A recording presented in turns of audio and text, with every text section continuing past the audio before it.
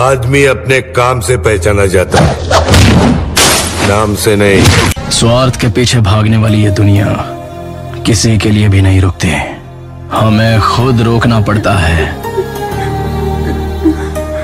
इन लोगों के बारे में मत सोचो।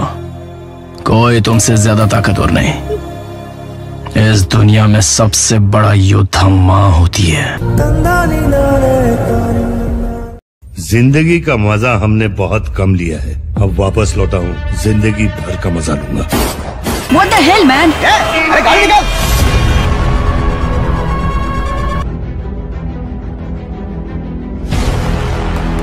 भले ही लोगों ने उसे देखा ना हो लेकिन उसका नाम सब जानते थे।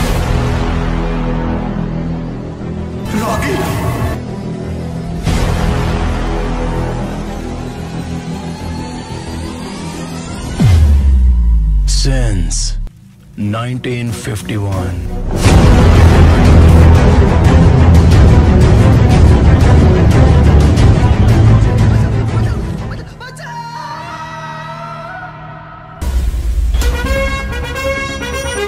इन लोगों के बारे में मत सोचो। कोई तुमसे ज़्यादा ताकतवर नहीं।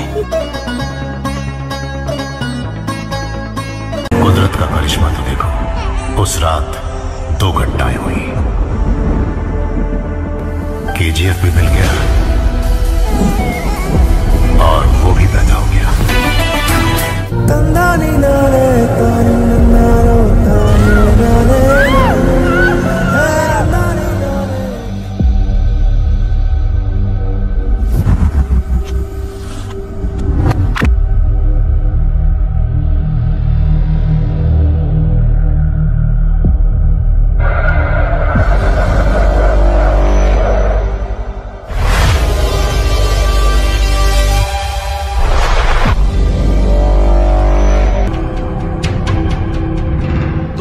तुम कह रहे इंस्पेक्टर को? कोई है? नाम कमाने गया था। उस पुलिस वाले को क्यों मारा है? किसी को मारा तो पुलिस ढूंढेगा। पुलिस वाले को ही मारा तो तुम्हारे जैसा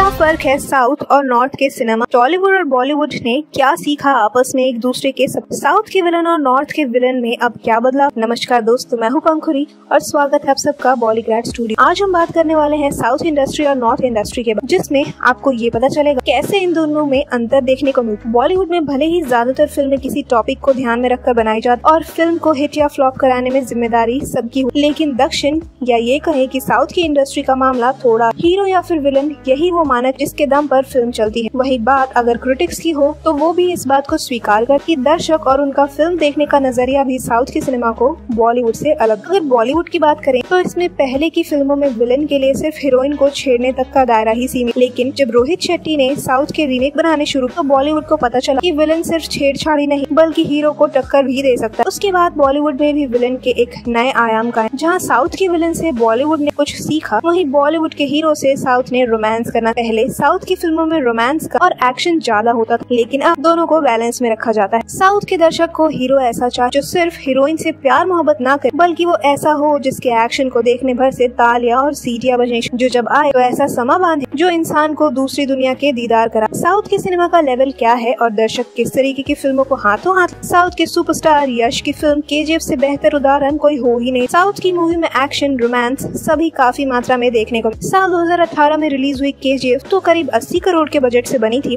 कन्नड़ फ़िल्म, लेकिन कहानी और प्लॉट उम्दा होने के नाते इसे अन्य भारतीय भाषाओं में भी रिलीज़ किया और फ़िल्म ने करीब 250 करोड़ का बॉक्स ऑफ़िस कलेक्शन अब के जी भी सिनेमा में रिलीज़ होने को तैयार। देखना ये है की दमदार कास्ट के साथ के जी क्या दम दिख आपको क्या लगता है? क्या होगा के जी के रिलीज़ का अंजाम? क्या तोड़ पाई के जी अपने पहले रिकॉर्ड हमें कमेंट करके ज़रूर बताए। वीडियो पसंद आए तो इसे लाइक करें शेयर करें और सब्सक्राइब करना ना भूलें हमारे बॉलीग्रैड स्टूडियोज को।